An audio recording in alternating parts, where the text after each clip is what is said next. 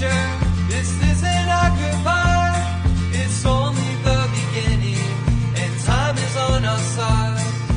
We can send a postcard. We can drive all night. We can count the stars until the sunrise fills the sky and hides the moon. It's just me and you.